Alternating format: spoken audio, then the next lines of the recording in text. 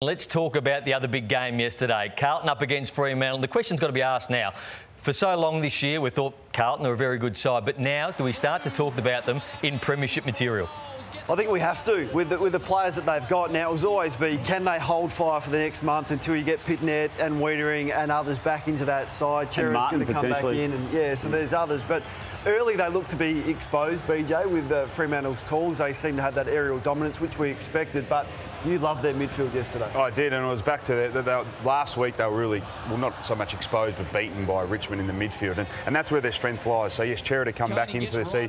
What I want to highlight here too, yes, they got their mids get to work here. Great body work, great follow up, and you look in there, and they're all legitimate big body midfielders. I know that's a term that's been thrown around a lot and has done for uh, many years, but the other thing I want to highlight is just De Koning's ability to win the tap there against Darcy and put the ball to the advantage, give them the first crack at it.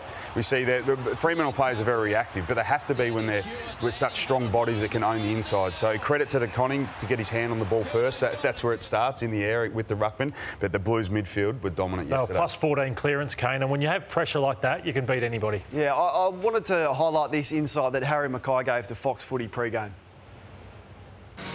From um, from the centre bounce, we like to set up kind of on opposite side. So um, nothing too fancy, but as a left footer, probably me operating more on this side is roll around and kick on your left, Charlie opposite on the right. I mean, we move, match and move a little bit, but um, I think the key is you've got to be pretty patient still because um, the ball can fumble around a little bit and we can handball the ball a bit, so you don't want to go too early. So right. kind of holding your space, um, being patient, and knowing the ball's coming to you. So Harry on the left, Charlie on the right from centre bounce, and the thing that he said there, be patient because the ball can bobble around a little bit in the centre bounce. So let's look at this play out yesterday from the centre bounce. Centre bounce stoppage here, so we're going to see a contest. It's nothing clean here. The ball's going to bobble around. So the forwards down their goal side, they've got to be patient. They've got to be holding here. Walsh is going to come through. He was amazing yesterday, Sam Walsh. We'll highlight him in a second. So it's still bobbling.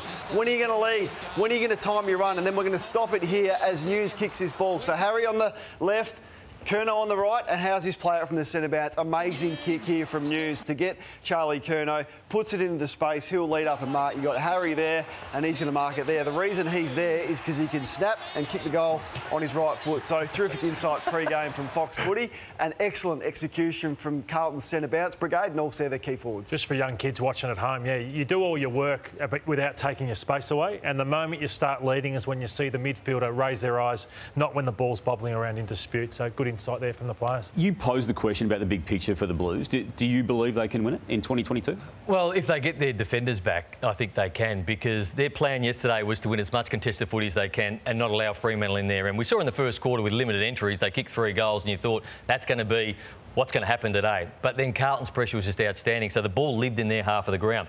When they come up against another side that breaks even in the midfield, they're going to need Weitering back, they're, they're going to need McGovern back. But if they play that way, that, that's, that's September football, that's grand final winning football. If they can handle that when it comes to playing the big game and apply that pressure the whole game, I think they're right in it. That's, mm. that, that for me is the point there, Brandy, that you highlight, if they can handle in big games, because they've, they've got little to no mm. experience mm. in big games, playing finals. I think a lot of us here understand an apprenticeship in football, playing finals, going deep into finals, experiencing losses. We all know it's different, and there's an element of, of, footy that you need to play in finals, and they just haven't experienced that. So I think that's the only thing holding them back. Yep. As well as the Tom Stewart issue, the match review office will be looking at this. Uh, Nat Fyfe at a uh, break in play was. I'm saying pushed into an umpire or, or, accidentally propelled into an umpire by Matt Cottrell there. Now, I don't see any issue with that. You can see the, the hand contact with the umpire there.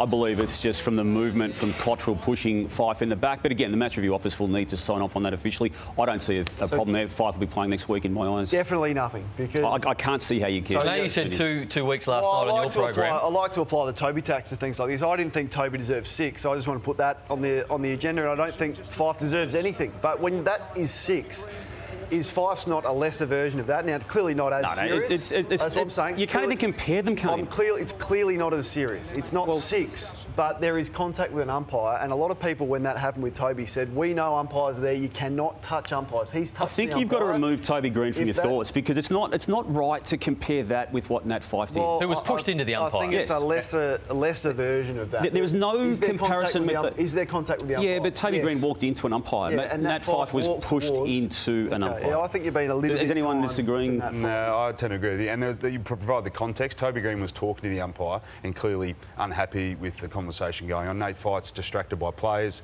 Obviously sees the green uniform, and he, he, so he was having no conversation or, uh, with the umpire whatsoever. Yeah, so I I, think- think.